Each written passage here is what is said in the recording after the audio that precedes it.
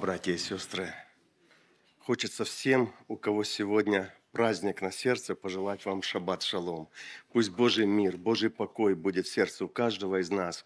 Наш великий, всемогущий Господь подарил нам такой прекрасный праздник, что мы можем, оставив все свои заботы, все свои труды, все свои переживания, прийти в дом молитвы здесь, петь, молиться, славить Господа, наслаждаться общением друг с другом и с нашим Господом. Я продолжу дальше тему, на которой я говорю. И, наверное, я даже не знаю, смогу ли я сегодня закончить эту тему или нет, потому что что-то тревожит она меня, лежит на сердце, чтобы об этом говорить, об этом проповедовать, потому что считаю, что это очень важно для каждого из нас. Я хочу начать сегодня одним стихом. Это будет Сирахова, 3 глава, 1 стих. Это полная Библия, если кто-то интересуется или кто-то изучает только Библию. Это полная Библия. Это замечательная третья глава Сирахова. И здесь говорится нам так. Дети, послушайте меня, Отца, и поступайте так, чтобы вам спастись. Вот когда я читаю эти слова, я понимаю, что это слова, сказанные из сердца что эти, в, эти, в эти слова вложено очень глубокий смысл. Очень глубокий смысл. Отец, который писал эти слова, он их написал с любовью к своим детям, очень сильно любя их. И он пишет, дети, дорогие детки, послушайте меня, отца, послушайте, поступайте. Это дела, это поступки. Поступайте так, чтобы вам спастись. Обратите внимание, у него здесь нету такого понимания, что вот, чтобы я был в почете, чтобы меня люди уважали, чтобы ко мне относились с таким уважением, с почтением. Нет, любовь Отца здесь выражена в том, чтобы вы спаслись. Вот мое желание, мое желание, чтобы ваши поступки были таковы, чтобы вы спаслись. И поэтому давайте снова мы вспомним пятую заповедь, о которой я буду сегодня говорить. А, вернемся в книгу Исход, 20 глава, 12 стих. «Почитай отца твоего и мать твою, чтобы продлились дни твои на земле». И там в некоторых переводах, чтобы тебе было хорошо на земле, которую Господь Бог твой дает тебе – это же самый стих, эту же самую заповедь, если мы ее будем читать э, в книге Ефесянам, 6 глава, первый стих, то прочитаем ее внимательно. Давайте с первого стиха. Ефесянам 6.1. Дети, повинуйтесь своим родителям в Господе, ибо всего требует справедливость. Самый справедливый Бог – Сегодня, когда Он обращается к народу своему, Он подмечает всем живущим здесь, на этой планете Земля, дети, этого требует справедливость. Этого не родители требуют, не отец и мать этого требуют. Этого требует самая высшая справедливость, которая есть на этой планете Земля. Почему? естественный вопрос. Мы же мы ж не люди, которые рассуждают, мы же люди, которые думают над всем, что происходит. Так вот, давайте мы вспомним, как мы пришли в этот мир. Безусловно, мы понимаем, что жизнь дает Господь, Дух от Господа, и Дух возвратится к Богу, который дал Его. Но родители принимают самое непосредственное участие в нашем приходе в этот мир – и без родителей мы бы не были здесь. Потому что в некоторой степени, кроме того великого Творца, который создал эту планету Землю живую, еще в нашем создании участвуют наши родители. И поэтому в некоторой степени они являются нашими Творцами. Они непосредственно принимали в этом участие. И поэтому от них, от наших родителей к нам переходит и наш, как мы выглядим, и наша генетика, и даже наследство духовное, я сейчас имею в виду, и даже земное наследство. Вы знаете, наследство от родителей, а разумная жена от Господа. Есть так написано в Священном Писании. Поэтому мы много чего получаем от нашего Господа и от наших родителей. И когда мы приходим в этот мир, вот момент нашего прихода, мы беспомощны, мы совершенно беспомощны. И наши родители, проявляя полную заботу и попечение, заботятся о нас – они нас кормят, они нас одевают, они нас воспитывают, они нас учат, они показывают нам, что добро и что зло, и что требует от нас Господь. Они стараются научить нас всему этому. И знаете что, братья и сестры? Есть такая фраза, я ее уже не раз напоминал здесь, а родителей не выбирают. Это нет такой возможности, что если бы я имел такую возможность, я бы выбрал себе самых лучших, самых добрых, самых грамотных, самых воспитанных, самых богатых, чтобы мне прекрасно и процветающая жизнь. Вот я бы таких вот родил. Нет. Ты родился в той семье, в которой ты должен был родиться. It's not your choice. Это не твой выбор, чтобы ты мог сказать, вот я, зачем я родился в этой семье. Вы знаете, я об этом говорю с полным осознанием, потому что в моей жизни был такой момент, когда я дружил с друзьями, 16 лет мне было от возраста, когда я дружил с друзьями, которые были неверующие, и я видел, как им можно очень много чего, а вот мне, вот к верующему, рожденный верующим, много чего нельзя. И во мне народилось такая, скажем, немножко внутреннее огорчение, почему я родился в семье верующих. Ведь нет, то нельзя, то нельзя, то нельзя, а вот моим друзьям все это можно. Эта мысль corrupted my mind. И она может любого человека в сути разрушать то, как он думает и как он поступает. И поэтому, не имея такого выбора, когда мы не выбираем наших родителей, мы должны понимать, что родители все разные.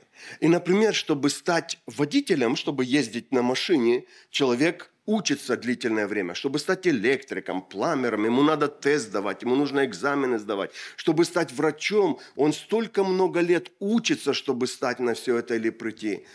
Но вы знаете, многие люди становятся родителями, будучи совершенно к этому не подготовленным.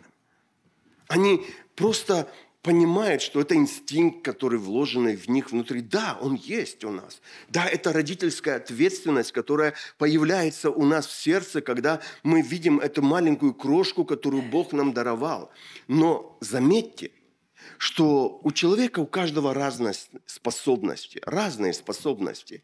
Кто-то очень талантливый, кто-то не очень. И иногда это не вина человека, что он не очень. Иногда это может быть последствия какой-то трагедии, какой-то ошибки, какого-то воспитания, э, неправильных действий. Это много может быть причин, почему такой один человек такой путем пошел, а другой другим путем пошел. Есть много причин, по которой все это происходит.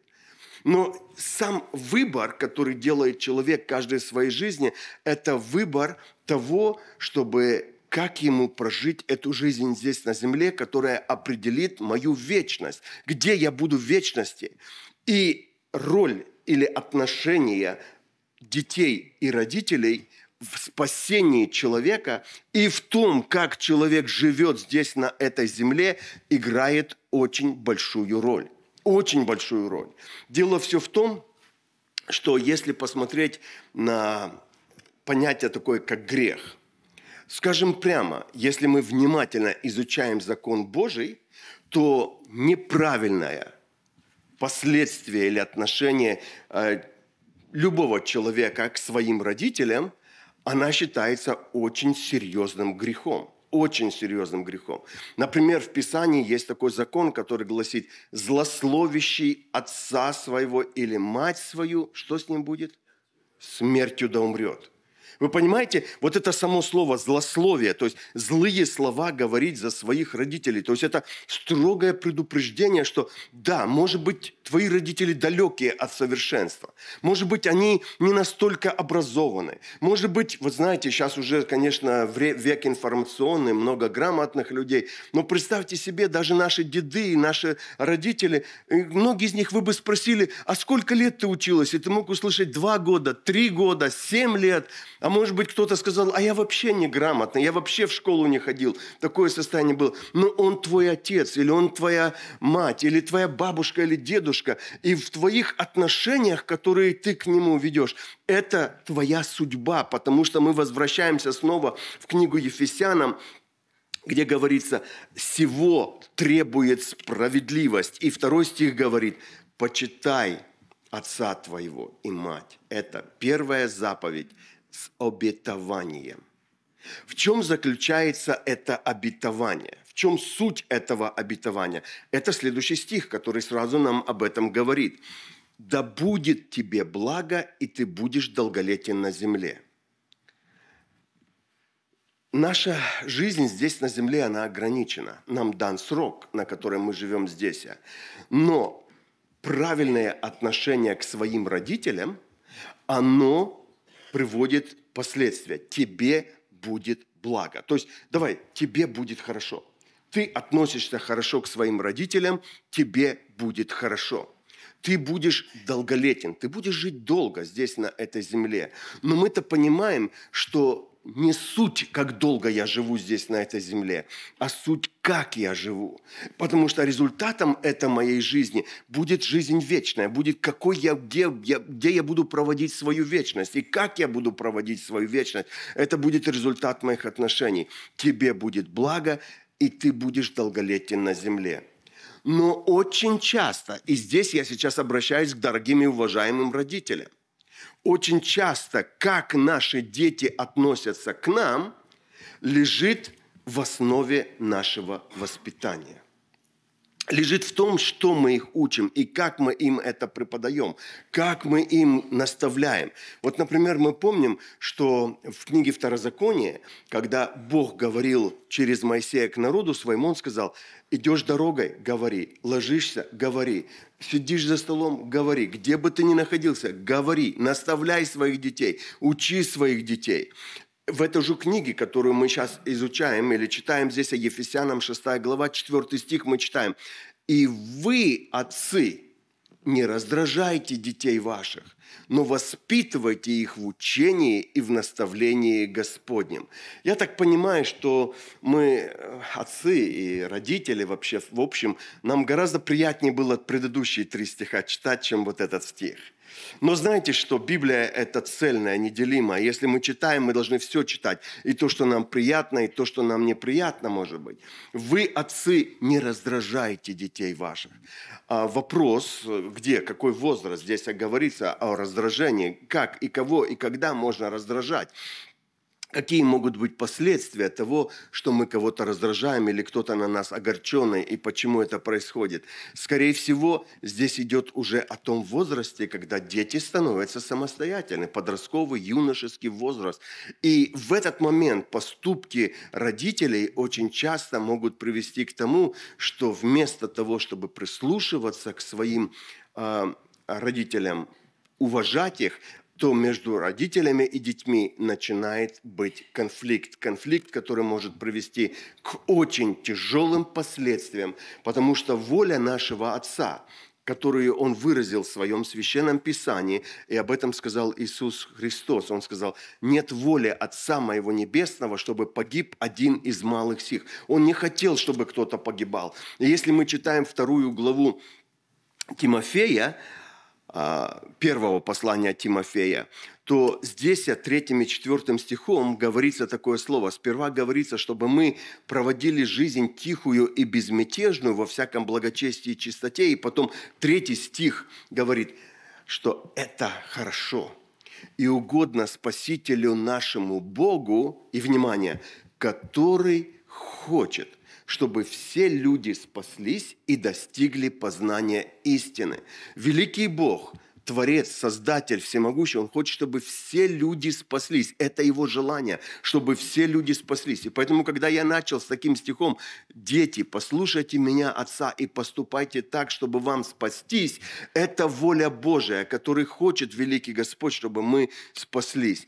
Но именно в отношениях, потому что мы можем наизусть знать заповедь, мы можем ее цитировать, мы можем рассказывать прекрасные проповеди, петь замечательные псалмы, Мы можем много молиться, говорить о высоких целях, о каких-то таких высоких, скажем, воззваниях, но все определит это наше отношение. Я это много раз подчеркиваю в последнее время, потому что когда придут пред лице нашего Бога, когда Он будет соберет всех избранных своих от четырех концов земли и отделит одних налево, других направо, то именно отношение к людям будет определять наше спасение. Потому что как бы мы много не говорили о заповедях Божьих, и как бы мы это не излагали, но по-настоящему лежат ли эти заповеди или находятся они в нашем сердце, это в нашем отношении. Как мы поступаем к другому человеку, как мы поступаем с другим человеком. Если мы говорим прекрасно, красиво и хорошо, но при этом мы не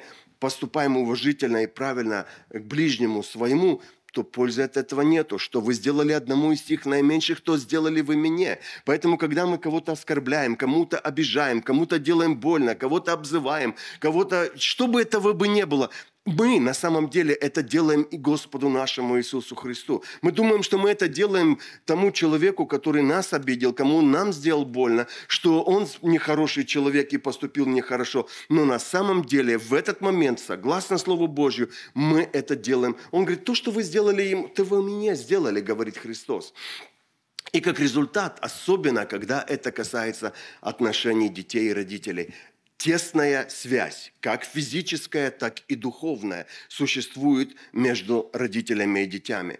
И поэтому, когда мы рассуждаем, братья и сестры, когда мы говорим на эту тему, я думаю, что есть особое состояние, где мы должны понимать. Вот только что мы слышали это слово, что мы должны, а, давайте вернемся в книгу Ефесянам, шестую главу и четвертый стих прочитаем еще раз. «Вы, отцы, не раздражайте детей ваших, но воспитывайте их в учении и наставлении Господнем. То есть не так, как вам хочется, не так, как вам нравится, не так, как вы считаете правильно, а учение и наставление Господня. Для того, чтобы передать это учение и наставление Господня, сами родители сперва должны быть в этом учении и в этом наставлении. Потому что если они сами в этом не находятся, как можно преподать другому то, чего ты сам не имеешь? Дать можно только то, что есть у тебя. Если оно у тебя есть, ты этим поделишься. Если у тебя этого нету, ты этим не поделишься. Помните историю, которая оставлена в книге Судей? Там повествуется, что жила одна прекрасная, замечательная семья. К сожалению, они были бездетны. Удивительно то, что э, там написано «Маной и его жена». Даже имени, скажем, этой замечательной женщины, у которой родился такой чудесный человек, как Самсон, нет написано «Маной и его жена». И вот однажды этой женщине, которая история так описана и уже тысячелетиями читается, этой женщине является ангел. И этот ангел говорит, ты зачнешь, ты родишь сына. Этот сын будет Назареем Божьим. Этот человек будет спасителем в некоторой степени для своего народа, потому что он будет судьей Израиля, он будет спасать. Но, внимание, ты должна правильно питаться – ты должна его правильно учить. Ты должна, чтобы его сохранить от того, чтобы он не делал ничего плохого. Вы знаете, вот даже это уже должно натолкнуть на мысль. Смотрите, какая забота. Еще не родился ребенок, да он даже еще не зачатый, он только в проекте у Бога, а Бог уже родителям говорит, вы должны поступать правильно, вы должны учить правильно, вы должны говорить правильно, вы должны даже кушать правильно, то, что вы кушаете. Результат этого, результат этого произошло следующее. А муж ее Маной услышал, говорит, ну, пусть еще раз придет и научит нас, пусть он научит нас, как нам нужно поступать. То есть забота родителей должна быть, вот как нам воспитывать наших детей в учении и в наставлении Господнем. Потому что сегодня э, для вашего, скажем, утверждения, если кто-то будет это следить за этим и хочет дома поисследовать, Судьи 13 глава 8 стих. Маной помолился Господу и сказал, Господи, пусть придет опять к нам человек Божий, которого посылал Ты, и научит нас, что нам делать с имеющимся родиться младенцем? Вот забота родителей. Он еще не родился, а уже они заботятся, они уже учатся, они уже наставляются, что нам делать с этим ребенком, который должен родиться. Вот тут я хочу подчеркнуть мысль. Дорогие родители, даже те, которые только планируют это в будущем, очень правильно, очень мудро, когда мы хотим стать родителями, учиться, читать, познавать волю Божию, смотреть, что говорит нам Писание, какая ответственность лежит на родителей, что мы должны учить наших детей, как здесь, а, и научит нас, что нам делать с имеющимся родиться младенцем. Только что мы слышали, где было сказано через апостола Павла церкви Ефесянам, что наставлять детей своих. Ну вот э, в книге «Премудрости», это снова полная Библия, «Премудрость Соломона», во второй главе есть описание за людей неверующих. То есть есть такая категория людей, людей, которые не верят в Бога. И эта категория людей, они э, именно говорят так. Когда мы умрем, то дух наш рассеется, как жидкий воздух, и мы будем как не бывшие. Потому что жизнь наша, это вот проходит вот так быстро на этой земле, и потом говорит, что мы станем делать? Пировать на этой земле, будем наслаждаться, будем наслаждаться миром как юностью, там такое выражение есть. И вот вторая глава «Премудрости Соломона», 12 стих, говорит так. «Устроим ковы праведнику, ибо он в тягость нам» противится делам нашим и укоряет нас в делах и в грехах против закона и поносит нас, внимание, за грехи нашего воспитания. Вот когда-нибудь вы рассуждали над этим вот стихом, вот внимательно посмотрите, что праведный человек, он своей жизнью, своими делами, он противится теми, которые не живут праведно, которые и своей жизнью он как бы укоряет их в грехах против закона, потому что они нарушают закон Божий. Но самая важная мысль, заметьте, он поносит. Это такое выражение, как бы унижает нас. И это у людей выглядит именно вот так. Вот он унижает нас за грехи нашего воспитания.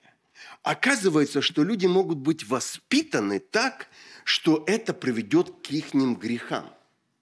И знаете, это действительно имеет место на этой земле. Например, а, вы представляете себе, что человек, которого родители всю жизнь воровали, как вы думаете, чему будут научены их дети? Воровать. Э, если, а, скажем, вот в цыганской семье родился мальчик, и это все, что они делают, обманывает и ворует. Это э, привычка, которая вырабатывается с ними. То, безусловно, эти дети, они становятся частью этого наследства, которое они принимают от своих родителей, которое приходит к ним. И это их воспитание, которое при этом встает. И я хочу сказать, дорогие родители, я, моя главная цель говорить все-таки детям, потому что заповедь идет к детям, но воспитание наших детей – это не обязанность детей, это нас, родителей, обязанность. И, безусловно, у всех у нас разные способности, разные таланты, разные возможности, и все мы очень разные при этом, и немногие из нас – учатся всему этому или, скажем, познают много умных книжек читают, но все-таки вот это чувство, которое различать добро и зло, чувство это хорошо, а это плохо, это может быть привести к тому, что если наши дети, наши дети будут воспитываться на вседозволенности – на том, что им все можно, главное только громко закричать об этом, и тогда им все, все скажем, требования будут исполнены их, то я понимаю, пока ребенок маленький, но когда он становится постарше, должен прийти такой момент, когда нужно их уже учить. Это можно, это нельзя. Это правильно, это плохо, это хорошо, а этого вообще нельзя делать. Это грех, это распутство, это беззаконие, которое не должно даже именоваться у вас, которое должно быть отвратительно вашему сознанию. То есть где вот это вот учение? Например, а, я по наблюдениям жизненным, все-таки 55 это не так мало уже прожито здесь, на этой земле, замечаю, что проблемы многих детей по жизни бывают результатом проблем, которые они или того багажа, или того наследства, которое они взяли и вынесли из своих семей. Потому что очень часто момент ихнего воспитания, когда у них есть папа и мама, папа и мама вместо того, чтобы показать детям своим пример достойного, уважаемого поведения и поступков, спорят между собой о своих ролях, кто там старший, кто там первый, кто кому подчиняться должен. Они не определили свои роли. И в этом конфликте находясь, дети очень быстро это расчувствуют и почувствуют. Вы помните такой детский хороший стишок? Вы не думайте, что дети ничего не понимают можем быстро мы заметить, как взрослые поступают. Если они видят, что родители не поступают правильно, если они видят, что мама одно, папа другое, они очень быстро начнут этим пользоваться. Когда им надо чего-то достигнуть, они будут, подойдут к папе папе не получилось, пойдут к маме. И если между папой и мамой нету согласия, между ними нету, и они доказывают друг другу, кто из них лучше, кто из них правильный, это скажется непосредственно на характере, отношениях и поступках, которые в дальнейшем будут у этих детей. Это их не будет отношения. И если думают таким образом добиться к себе уважения, то кто бы это ни был, папа или мама, кто будет там настаивать этим детям, я хочу быть хорошеньким, все позволять, другой будет кто-то что-то запрещать. Вот в этом вопросе между родителями должно быть единство, должно быть согласие, должна быть любовь друг к другу и любовь к детям, и эта любовь выражается не в том, что мы позволяем им все, что хочет, и заступаемся за ними тогда, когда, не разобрав, правы они или не правы. В любом случае, один Однажды человек мне сказал, за своих детей я заступлюсь всегда, что бы там ни было и как бы там ни было. Я скажу так, правильное в этом случае – это заступаться, когда дети правы, да, если дети правы и их обвиняют несправедливо, за них нужно заступиться. Но если дети не правы, сказать, дети, вы не правы. И я не могу защищать неправду. Я не могу защищать там, где вы поступаете неправильно, когда вы делаете что-то нехорошее. Результат этого последствия, это может быть последствия неправильного воспитания. И как мы можем видеть, что здесь а, возвращаемся снова в книгу, которую я очень люблю читать. Прочитаем еще раз. А, третья глава Сирахова, первый стих. «Дети, послушайте меня, Отца, и поступайте так, чтобы вам спастись. Ибо, почему? Ибо Господь возвысил отца над детьми и утвердил суд матери над сыновьями. Обратим внимание на этот стих. Это не сами родители себе присвоили такое право или такую честь, что Господь возвысил родителей над детьми. Это право дано им Господом, потому что это Господь сделал, это Его действие. Он возвысил отца над детьми. Если дети это признали, вот понимаете, это вопрос авторитета. Если дети признают, вот представьте себе такую картину, я сейчас немножко кое-что, некоторые вещи поменяю местами. Представьте себе, что вы работаете на работе. Вы не свой бизнес имеете, а вы простой работяга, работник, там, электрик, пламер, погрузчик или э, упаковщик где-то на какой-то работе. И вот вы приходите – на, на работу, вы приходите на работу, и у вас есть супервайзер, у вас есть менеджер, у вас есть начальник. И вот вы, простой там упаковщик или грузчик, вы говорите ему, знаешь что, я с тобой наравне. Я, я равен с тобой, и ты мне здесь не указывай, ты мне здесь приказы не отдавай. Как вы думаете, долго вы продержитесь на этой работе? Ну, могу вам подсказать, вы в тот же день вылетите. Вас уволят в тот же самый день. Почему? Потому что есть структура. Есть работник, есть супервайзер, есть менеджер, есть большой-большой босс. И вы знаете, когда вот эта структура идет, когда у человека есть признание авторитета, то тогда человеку жить легко. Он приходит на работу, и он знает, супервайзер ему сказал, ты сегодня это делаешь.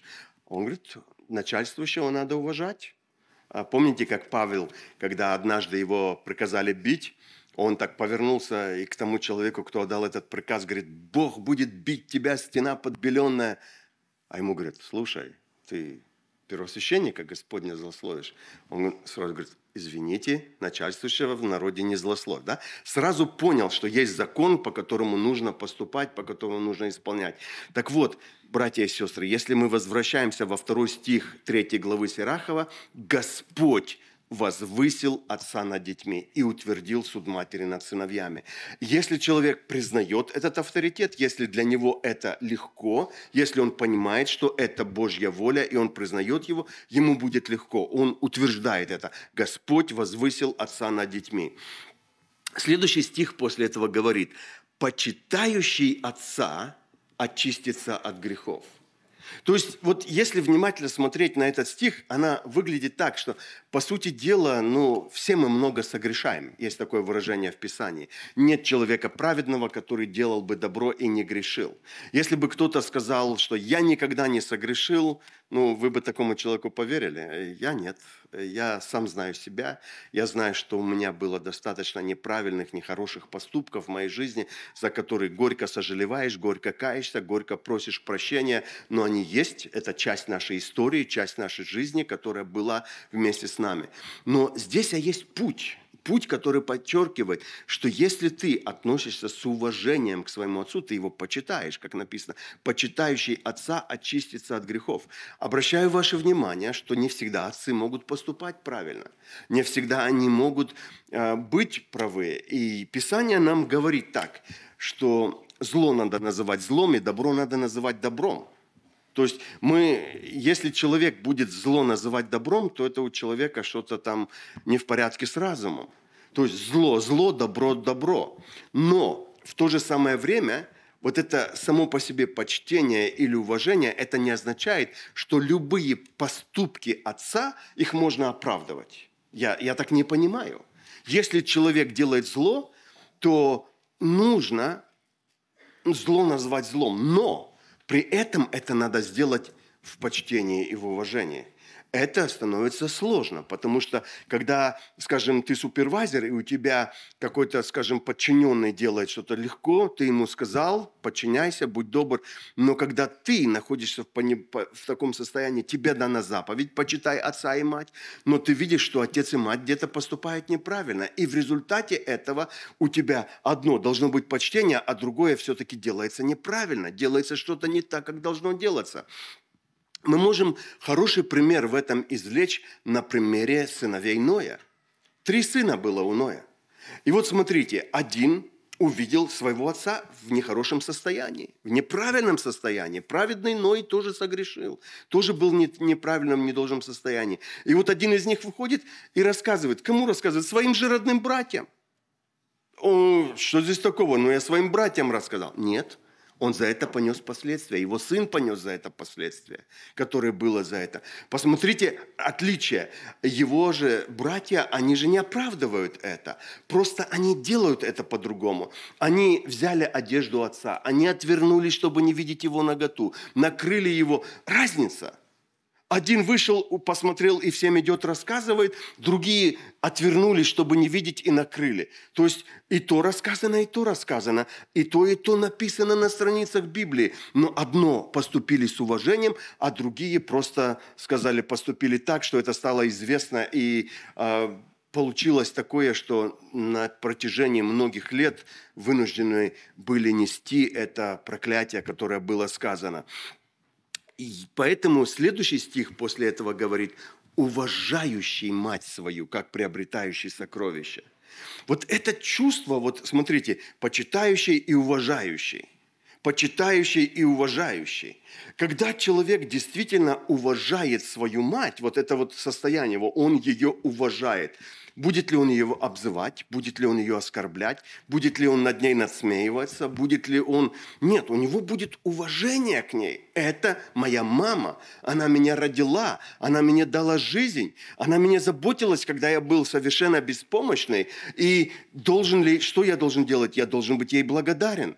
Вы знаете, сколько бывает таких моментов, когда умирают отец или мать, какие замечательные венки там стоят, сколько денег в это вкладывается. Иногда бывает гораздо больше, чем при жизни, за всю жизнь. Но вы знаете, в тот момент, когда венки вы ставите на похоронах, они никакой роли для этого же, для ваших отношений ничего. Может быть, вы хотите людям показать, что вам это дорого было, отец или ваша мать, но лучше это делать при жизни. Лучше делать, пока они могут сказать спасибо и прочувствовать вашу ласку, прочувствовать вашу любовь, прочувствовать ваше уважение, которое вы имеете к ним при жизни. Ведь это так несложно, сказать несколько ласковых слов, про, по, поговорить с ними, сказать, мама или папа, мы вас любим, мы вам благодарны за все, что вы для нас сделали. И вы знаете, я понимаю, что мое время истекает на сегодня. И еще а, могу сказать, что очень много чего можно говорить об этой заповеди. Поэтому я ее сегодня не закончу.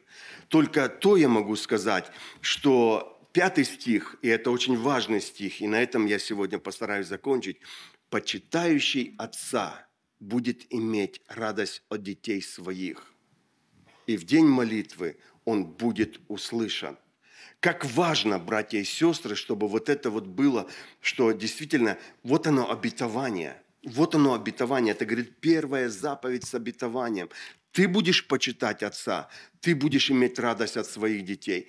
Ты в день молитвы своей будешь услышан. Здесь я хочу рассказать такую, скажем, старинную японскую притчу. Там была такая традиция, что когда состаривался отец или мать, когда они входили в такой период в жизни, когда они уже становились в состоянии исполнять, скажем, свои заботы и опечения себе, там была такая традиция. Плели корзину, сажали туда отца или мать и относили его на гору и оставляли там умирать. И вот э, получается, когда состарился очередной раз дедушка – и отец начал плести уже эту корзину, чтобы отнести своего отца на эту гору и там его оставить. И вдруг он увидел, что его маленький сыночек тоже плетет корзину. Он говорит, а ты для кого несешь? Ну, когда ты состаришься, я тебя отнесу, говорит. Твоя очередь тоже придет. И вот здесь заставляется задуматься, вы понимаете? Иногда люди просто не думают, вот я сегодня не почитаю или не уважаю своего отца, я не проявляю того должного уважения – это посев. Существует закон посева и жатвы. Что ты посеешь, то и пожнешь. И если ты сеешь то, что ты не почитаешь и не уважаешь своего отца, свою мать, ты не проявляешь к ним уважения. И заметьте, я еще раз, я в этом деле говорю, зло, зло, добро, добро. Но уважение и почтение – это немножко разные вещи. И в этом случае, когда человек почитает, он будет иметь радость от детей своих и в день молитвы своей он будет услышан. Почему? Потому что Господь видит, как он поступает. Видит, что даже несмотря на то, насколько несправедливо, насколько неправильно могут поступать с ним порою, но он справедлив, он исполняет заповедь, он почитает, он любит, он старается это исполнить в своей жизни. Поэтому, братья и сестры, я хочу вам всем сказать, я сегодня буду подводить к концу. Наши отношения – они определяют нашу будущность. Они определяют, где мы будем проводить нашу вечность. Не слова, отношения, поступки. Наши поступки определяют. И насколько мы относимся друг к другу и как мы поступаем друг к другу, это определит нашу вечность. Где мы будем, в какой вечности мы будем находиться. И как бы хотелось, чтобы сегодня все, особенно молодые люди, они бы задумались над этим. Почитающий, уважающий, будет иметь радость. Радость от своих детей. Его жизнь это будет, даже смотря как бы трудно, тяжело не было, Бог дал обещание, а если Бог дает обещание, Он верен, Он исполняет это, говорит, в тебе будет хорошо. Ты хочешь, чтобы тебе было хорошо? Относись правильно к своим родителям. И там есть еще много сторон, которые бы надо бы осветиться. Родители в силе, родители пожилые, родители по закону, родители приемные. Здесь еще очень много сторон, которые можно было бы осветить. И я думаю, с Божьей помощью мы постараемся говорить. Важный вопрос, как я, как я исполняю эту заповедь, как я поступаю сегодня в этой жизни, и готов ли я принять это благословение, которое проходит вместе с тем, когда я почитаю отца своего и мать свою. Дорогие братья и сестры, дорогие дети, мы сейчас будем молиться. молиться мы будем просить Небесного Отца, чтобы Он помог нам, чтобы исполнить эту заповедь. У нас у всех будет замечательная, прекрасная возможность, рассуждая над этим и мысля над этим, подумать, как я исполнил это, как я, даже если ваших родителей уже нету в живых, это еще раз осознание. Напомню, что чтить и почитать своих родителей надо настолько, поскольку живы вы. Не ваши родители, а вы. Даже уже нет живых ваших родителей, вы по-прежнему должны почитать их, уважать их, говорить о них доброе, говорить о них то, что будет, как там написано, боящихся Господа славит. Да будет имя Господа благословенное, а Ему за все слава во веки. Аминь.